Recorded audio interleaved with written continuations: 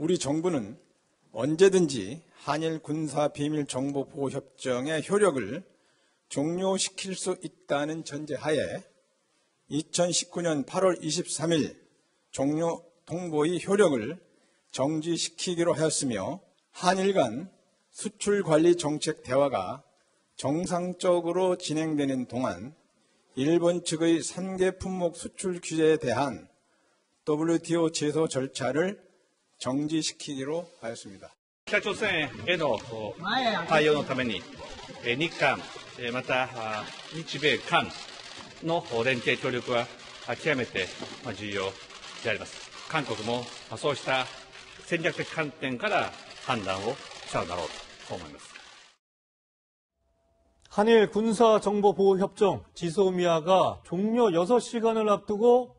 청와대에선 조건부 연장을 어제 전격 발표했습니다. 사실 예정대로 종료 가능성이 높았는데 우석은 우선은 파국은 피했다 이런 평가가 나오고 있습니다. 네, 이에 대해 일본의 아베 총리는 북한 대응을 위해 이 한일 간 연대는 중요하다면서 원론적인 입장만 내놨는데요. 이 지소미아 연장에 대해 한일 간 미묘한 시각차가 있는 것 같습니다. 우선 박진영 교수님, 이 지소미아의 조건부 연장 어떻게 보십니까? 제가 보기에는 적절한 시점에서 적절한 균형감이 있는 선택을 양국이 했다. 이렇게 볼 수 있을 것 같아요.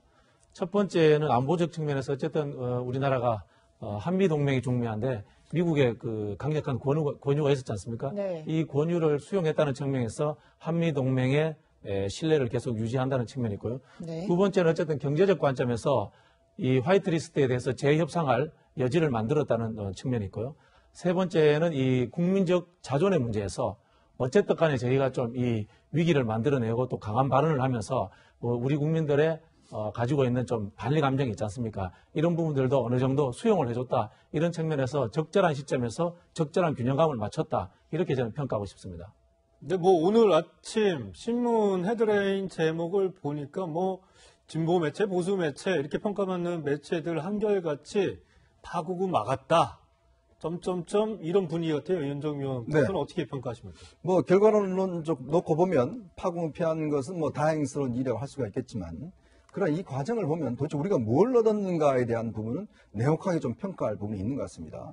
지난 8월 23일 날 우리 정부가 일방적으로 지소미아 파기를 선언했고 또 일본 측에 통보를 했지 않습니까? 자, 그 이후에 보면 벌어진 일을 보면 지금 뭐이 여당 같은 경우에서는 이번 사태 같은 어, 한일 지소미아 파기하더라도 우리 안보에 전혀 지장이 없다 라고 이야기를 했는데 어, 지소미아가 연장이 되니까 한미 관계가 어떤 면에서 보면 영향을 받지 않았다라고 또이 논평을 냈어요. 자, 그런 걸 보면 결국 우리 정부가 이 무역 문제, 즉 경제 문제를 안보 문제와 연결시킴으로 해서 결국 우리의 어떤 자충수에 빠진 게 아닌가라는 저는 평가를 할 수 있을 것 같습니다. 더군다나 지소미아 문제는 단순히 한일 간의 문제가 아니라는 것이죠. 결국은 한미일 삼각 안보 체제에 대한 중요한 고리 역할을 하는 것이고 여기에 어떤 그런 역할을 하는 것인데 이 그릇을 우리가 스스로 깨겠다고 나오니까 결국 미국이 상당히 반발하고 나온 거 아니겠습니까? 즉 한일 관계의 어떤 문제가 한미 관계의 어떤 동맹의 문제로 확산되면서 결국은 어떤 면에서 보면 아무런 성과 없이 결국 우리 스스로가 포기해버리는 이런 양상. 뭐 말은 조건부 연장이지만 어제 발표만 보더라도 김유근 1차장, 즉 어떤 면에서 보면 차관급이 발표를 했잖아요. 일본은 누가 했습니까? 국장급이 했습니다. 근데 내용도 보면 일본은 별로 변한 게 없습니다. 근데 어떤 면에서 조건부라고 이야기를 하지만 사실상 조건이 별로 없는 것 같아요. 그러면 먹고 보면 결론적으로는 잘 했지만 왜 이런 외교적인 패착을 벌였는지 문제에 대해서는 저는 분명히 따지고 넘어가야 된다는 생각이 듭니다. 네, 이인배 원장님 나와 계시는데요.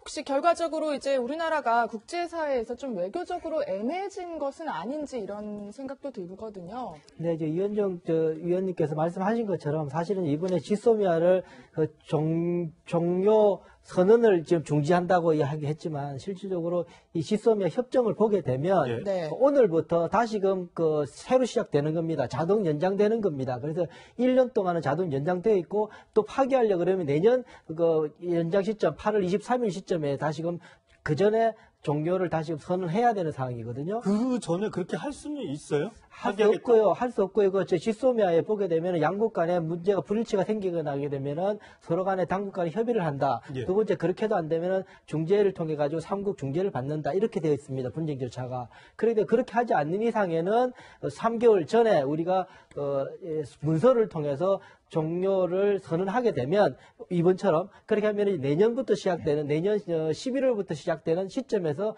종료가 되는 거죠. 일단은 그러면은 원장님 네. 말씀하신 것처럼 이게 on 그럼 조건부 연장이라는 청와대 표현은 잘못된 겁니까? 제가 볼 때는 잘못된 것 같습니다. 엄격하게 볼 때는 협정 자체는 그렇게 돼 있기 때문에 다른 뭐 정책 이유는 저는 알 수는 없겠지만 네. 어쨌든 저 협정 자체의 문안으로 보게 되면은 그렇게 지금으로서는 그냥 뭐 물론 이제 국가가 파기하는 거는 여러 가지 방식으로 파기할 수 있습니다. 아주 거친 방법도 할 수 있지만 절차적으로 볼 때는 지금으로서는 좀 어렵다라는 말씀 을 우선 드려야 될 것 같고요. 예. 또 하나는 뭐냐면 이번에 이 지소미아 카드가 나온 이유가 뭐냐 하면 한국과 일본 간의 역사 갈등, 역사 갈등이 무역 갈등으로 진화되는 과정 속에서 아, 한국으로서는 어, 미국의 어, 좀 입장을 끌어서 일본과 중재를 받기 위해서 지소미아 카드를 냈거든요. 다시 말하면 지소미아가 한미일 미국에게도 굉장히 중요한 안보 사안이라는 걸 알고 있었기 때문에 시작한 거였는데 딱 그까지만 했어야 됩니다. 이 지소미아를 만질 수도 있다라는 고민까지만 만지작되는 걸로 미국을 움직였어야 되는데 너무 많이 갔습니다. 8월 23일에 종료 선언을 하고 지금까지 너무 왔던 거죠. 그러다 보니까는 일본하고의 관계가 뒤틀어질 뿐만 아니라 미국하고 관계까지도 우리가 그 등을 돌리게 만드는 패착을 겪었다. 그래서 이번에 지소미아는 사실 한국과 일본 간의 이 갈등을 해결하는데 크게 도움이 되지 않고 오히려 적을 하나 더 만드는 결과였다. 이런 점에서 조금 아쉬운 점은 있다고 봐야 될 것 같습니다. 근데 사실 어제 오전만 해도 정부 내 분위기는 반반이었다. 그리고 며칠 전만 해도 지소미아 종료가 예정대로 시행이 될 것이다. 이런 의견이 많았는데 분위기가 반전된 게 어제 문재인 대통령이 NSC에서 참석을 하면서 분위기가 전혀 달라졌다. 이런 얘기가 나오더라고요. 어떻게 좀 어, 저는 저, 또 특별한 정보가 있지는 않은데, 어쨌든 어제 결정 났잖아요. 근데 한 시간밖에 안 했어요, 사실 회의는. 그렇게 경론이 있은 것 같지는 않고요. 그, 그날은 그 대통령께서 쭉 이야기를 듣고 제가 하는 수준이었을 가능성이 높고, 그 전날 거의 이제 그 만약에 쟁- 논쟁이 있었다 그러는데요. 그 전날 시점이 언제냐면은, 그, 어, 김현정, 김현정 차장이 미국 네. 갔다 가서 대통령에 보고하고 여러 가지 미국의 아주 그 실시간 반응에 대해서 가장 그 최근 반응을 가장 잘 아는 사람이 아마 보고가 들어갔을 것 같아요. 예. 그 상황은 미국에서 지금 이 상황을 저도 있는 친구한테 계속 저 여러 가지 이야 소식을 듣고 있지만 워낙 분위기가 좀 안 좋은 상태거든요. 그런 상황들에 대해서 더 깊숙이 이야기를 들었을 테고 그런 것들이 감안되어서 대통령께서 최종적으로 결정했을 가능성이 높다라는 생각이 듭니다. 네, 알겠습니다. 지소미아 연장에 대한 정치권 반응은 어떻게 나왔는지 한번 먼저 보시겠습니다. 일본의 전향적 태도 변화를 수용한 정부의 결단을 환영합니다. 국민의 안보 불안을 해소하고 한미 동맹을 보다 굳건히 하는 데에도 긍정적으로 기여할 것으로 봅니다.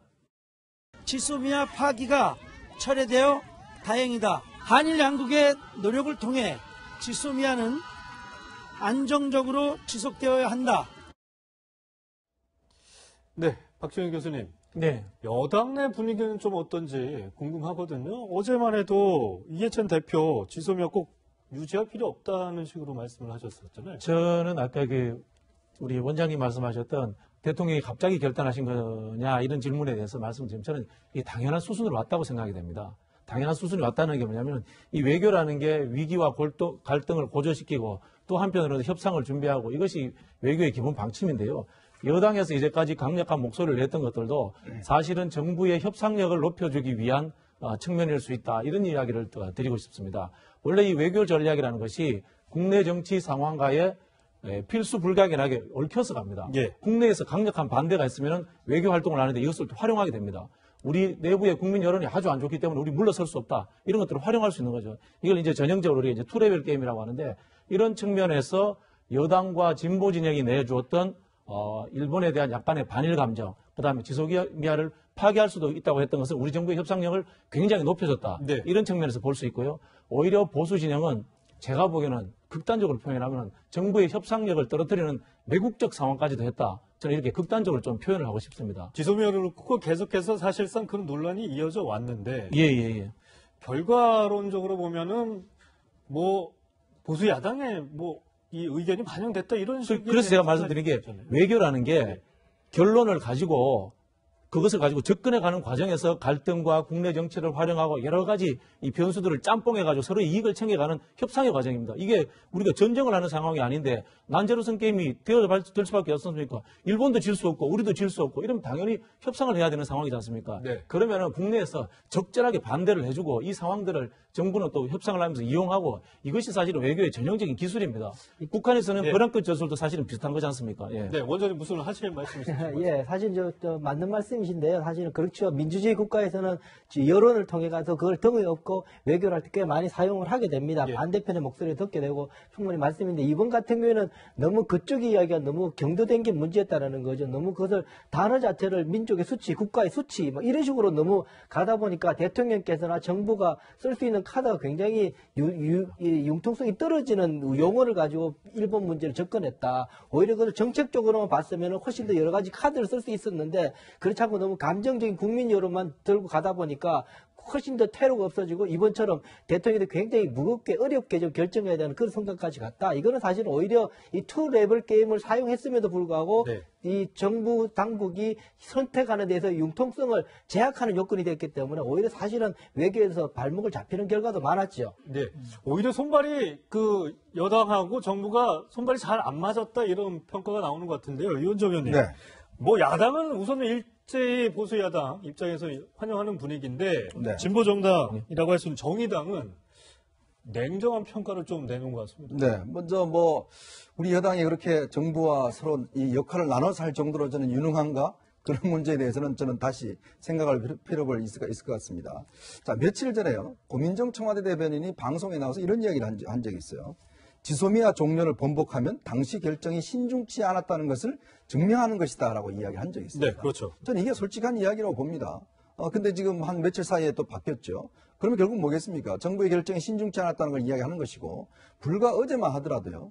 여당에서 뭐라고 그러냐면, 황교안 대표 단식하는 걸 놓고 친일이다라고 이야기를 했어요. 즉, 일본 측의 어떤 것을 대변하고 있다라고 이야기를 했습니다. 자, 그러면 지소미아를 지금 어떤, 어떤 면에서 보면 연장을 처리한 것이 대통령의 친일한 것입니까?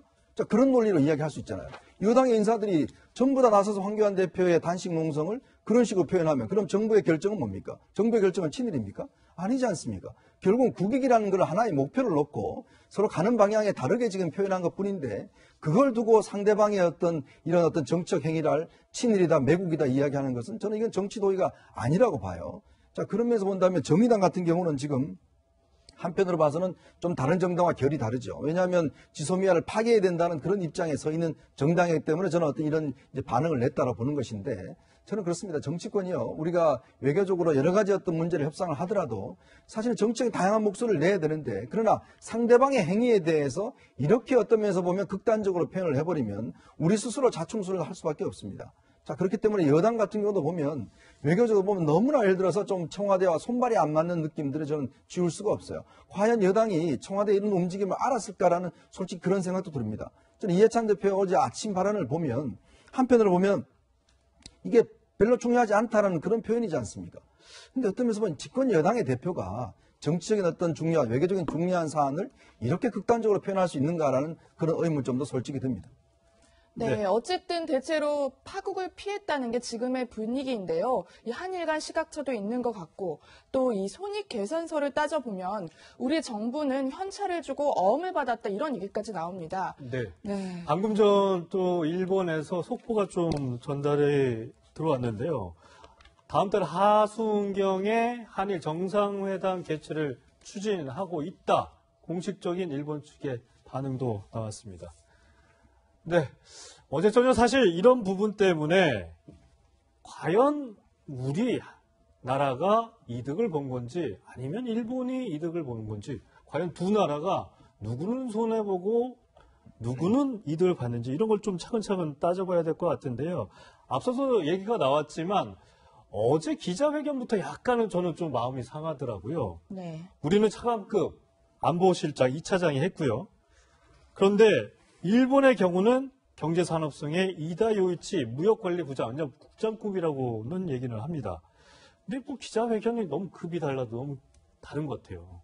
우선 일본의 입장은 저렇, 저렇게 하는 이유가 뭐냐면 지소미아는 일본에게 크게 그렇게 굉장히 그렇게 치명적이지 않다라고 계속 이야기했던 부분이기 네. 때문에요. 지소미아와 관계없이 일단 한국과 일본 간의 무역에 관한 문제를 협의하겠다. 그러니까는 그 담당 어, 어, 국장급이 나와서 이야기를 하고 네. 있는 건데요. 저걸 보면 제 인상이 드는 거예요. 사실은 일본들은 이번에 뭐 협상을 하겠다라고 이야기하지만 일본의 태도가 별로 바뀔 게 없는 것이 뭐냐면 그 어, 반도체 소재 세 가지는 네. 그 11월 15일부로 다좀그 허락을 해서 다 세 가지 다 들어왔거든요. 들어왔던 상황이고 화이트 리스트 문제는 화이트 리스트에 빠지긴 했지만은 세부 항목이 규정되지 않았기 때문에 네. 지금 아무런 영향을 미치지 않고 있어요. 그거는 그 산업성에서 그, 그 항목을 다 지정해줘야지 그때부터 일본 기업들이 우리 걸 수입해 오거나 수출을 하게 될 때 그게 예, 규제를 받게 되는데 그것도 사실은 항목이 규정되지 지정되지 않기 때문에 특별하게 좀그 문제되지 않는 상황이었거든요. 그렇기 때문에 그냥 이대로 갈 수준이 높다라는 생각이 들고 우리로서는 어, 더큰 아픈 부분은 미국과의 관계죠. 미국과는 워낙 좀 안 좋은 상황인데다가 지소미아까지 저렇게 돼서 사실은 아마 어, 최근 십몇 년이 전 동안 상황 동안에 그 미국의 외교 안보 수장들이 다 대한민국에 와가지고 이렇게 한 가지 이슈 때문에 이야기하고 가는 경우는 굉장히 이례적인 그런 상황이었거든요. 사실은 국무부든 국방부든 장관급, 차관급, 뭐 국장급까지 다와 차관복 예. 다까지 다 와서 합참 의장까지 와서 그런 이야기 하는 걸 보면 굉장히 이 부분에서 일- 미국으로서는 이번에 다행이다고 이야기하지만 굉장히 마음이 속이 상했던 그런 부분이 있을 거다. 그런 부분보다는 한국과 미국과 일본 간에 좀막 서로 속내는 꽤나 좀 어려운 그 서로 상처받게 된 그런 상황이었다고 볼 수 있겠습니다. 네. 제뭐 언제든지 지소미아 효력을 중지시킬 수 있다라는 뭐 이런 전제도 있긴 하지만요. 아까 말씀하신 대로 이인배 원장님 뭐 연장 카드를 꺼낸 이상 이제 다시는 종료하는 건 좀 어려운 거잖아요. 1년 네. 동안은 지속이 되는 거 아닙니까? 이것도 우리나라가 손해 본 거 아니에요, 사실상?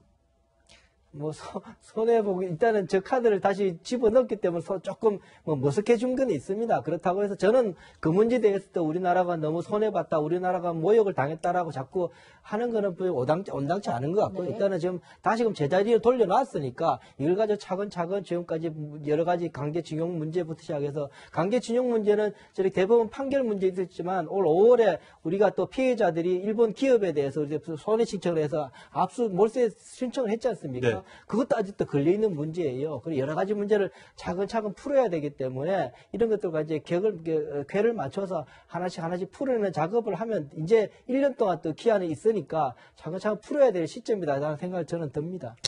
사실 뭐 여러 가지 얘기가 나오고 있지만 앞서 이인배 원장께서도 얘기를 했지만 지난 3개월 저는 이 부분이 가장 큰 손해를 본 게 아닌가 생각이 드는데 동맹국인 미국과의 신뢰 관계가 이번 지소미안 때문에 한미 관계가 좀 안보 상에 있어서 멀어지지는 않았을까 그런 것이 지난 3개월에 분명한 손해라고 저는 생각을 가장. 가장 컸죠, 사실은. 그러니까 우리 정부도 알고 있었던 부분인 거라고 저는 판단을 해요. 왜냐하면 앞서 말씀드린 것처럼 지소미아 카드를 우리가 만지작거린 동기가 뭐냐면 미국을 움직이기 위한 것이었다. 그 정도로 지소미아 하늘국과 일본 간의 어, 군사 정보 보호 협정 자체가 얼마나 중요한 건지를 미국으로서도 미국의 전략상에도 굉장히 중요한 것을 파악하고 있었기 때문에 그 카드를 만졌을 텐데 그 카드를 우리가 연장을 안 하는 것까지 결정을 함으로 인해 가지고 미국으로서는 도대체 이 사람들이 뻔히 다 알고 있음에도 불구하고 이렇게까지 나오는 게 이유가 뭔가라고 생각할 수 있게 만들었다는 점에서 어, 미국으로서는 굉장히 불쾌했던 그런 상황입니다. 뭐 동맹국으로서는 네. 뭐 저, 어, 실망이란 표현을 강하게 네. 이야기했던 부분이 있었지 않습니까? 그렇다면 이제 앞으로 이제 미국으로서는 아, 그렇지 않아도 트럼프 대통령이 한국과 미국 간의 동맹 문제를 어, 손해 계산, 그 경제적인 이익으로 네. 굉장히 많이 보고 있어서 이 사실은 동맹이라는 것이 돈이 문제가 아니라 자유민주주의를 함께 지켜왔던 역사를 가지고 있던 한미동맹, 그 세- 지교상에서 가장 성공한 동맹이었거든요. 그것에 대한 그 인식을 더욱더 흐리게 만든 상황이 되었다는 점에서는 조금 그 저도 마음이 사실 이게. 지소미아가 바- 한미 방위비 분담에 영향을 주고 있다 이런 분석도 굉장히 많았었잖아요. 그러니까는 이런 걸 겁니다. 그러니까 미국이 이 정도까지 종용을 했음에도 불구하고 지소미아를 이렇게 종료를 하게 되면 이렇게까지 우리가 이야기했는데 당신네도 이렇게 안 들어주는 우리도 그러면 우리 이- 그 이익대로만 하겠다라고 해서 그냥 아주 네. 편하게 압박할 수 있는 근거는 될 수 있겠죠. 예. 네, 그렇습니다. 이제 사실은 앞으로가 무엇이 더 중요할지 그런 부분을 봐야겠는데 미국 측 입장에서는 사- 이번 지소미아 이 조건부 연장이라는 표현을 이 청와대 정부에서 얘기를 했는데 뭐 일제히 환영은 하고 있습니다. 근데 미국이라는 게 미국 측 입장이라는 게 아까도 얘기했지만 갱신이라는 표현을 계속 쓰고 있거든요. 원장님 이런 부분을 보면 갱신이 맞습니까? 아니면은 조건부 연장이 맞습니까? 미국 측은 그냥 갱신이라고 표현을 계속 하는 것 같아요. 예, 리뉴라고 해서 그냥 그 올해 오늘부터 다시 또 시작하는 거죠. 이게 네. 협정상으로는 그 내용상 보면은 맞는 거죠. 1년이 지나고 나면은 특별하게 상호간에 종료를 통보 서면, 서면으로 통보하지 않으면 네. 자동으로 연장된다 이거거든요. 그러니까 오늘부터 다시 1일 시작해서 다시금 1년간 효력을 그럼 갖게 되는 미국 거죠. 입장에서는 더 이상 이 지소미아 종료를 이 논란으로 보지 않는다 이렇게 해석해도 되는 거예요? 규정상으로도 그렇고, 그러니까 미국 사람들이 이 협정, 국가 간의 협정을 보게 될 때는 굉장히 저기 법적으로 굉장히 많이 따집니다. 아마 저 법적으로 규정을 보고 이야기하는 거라 생각이 드는데요. 그럼 오늘부터 새롭게 시작되는 거니까 리뉴라고 이야기하는 게 맞는 것 같고요. 어, 그래서 그냥 하고 그 더 이상의 또 하나는 어, 저렇게 해서 아주 국무부에서 명확하게 이야기하는 얘기는 더 이상 저기에 대한 그 어, 논쟁이 없기를 바라는 그래서 한국과 일본 간에 더 진주한 대화가 있기를 바란다라고까지 논평을 같이 하지 않습니까? 그렇게 하는 것 같아요. 이상, 더 이상 이 지소미아 때문에 그 갈등을 일으키지 않았으면 좋겠다라는 바램도 어, 숨어져 있다라는 생각을 해보게 됩니다. 박진영 교수님께 여쭤볼게요. 지금 뭐 손익 계산서 간단하게 저희가 이제 좀 이 원장님하고 체크를 네, 해봤는데 네, 네. 전체적으로 보면 좀 손해 봤다라는 느낌을 지울 수가 없습니다. 그게 딱 계산할 수는 없죠. 왜냐하면 어음을 받았, 받았기 때문에 네. 어음을 받았기 때문에 이 어음이 나중에 현찰보다 더 커질 수도 있는 문제이기 때문에 네. 딱 손해라고는 할 수는 없다고 보고요. 저는 오히려 이번 기회에 우리가 아, 미국에 대해서도 no라고도 할 수 있으면서 우리가 기존에 있었던 한미 동맹 관계의 새로운 방식의 제시라든가 또 미국이 또 방위비 분담금도 요구를 할 거 아닙니까? 네. 그죠? 이런 부분들에 있어서 우리가 외교적으로 새롭게 한번 어, 자립적으로 할 수 있는 토대에 뭔가 메시지를 던졌다 이런 측면에서도 의미가 있다고 봅니다. 네. 네, 이현정 위원께서는 어떻게 보십니까? 손익 계산을 뭐 이게 맞, 뭐- 맞는지 아직 어음이 어떤 어음인지는 모르잖아요. 그러니까 어떤 면에서 보면 우리 정부를 지금 한다는 것 자체가 또 우리 국가를 여러 가지 또 어떤 면에서 보면 비판하는 거기 때문에 좀 평가하기가 상당히 어떤 면에서 좀 애매한 측면이 있습니다만은 저는 결과는 놓고 보면 지금 이 우리의 어떤 외교 안보 팀들이 과연 현상을 지금 제대로 보고 있는가 부분에 대해서 정말 이번에 다시 한번 저는 점검을 해야 된다 봅니다. 왜냐하면 지난번 8월 23일 날 그 전만 하더라도 지소미아는 건드리지 말아야 된다는 사인들이 많이 왔지 않습니까?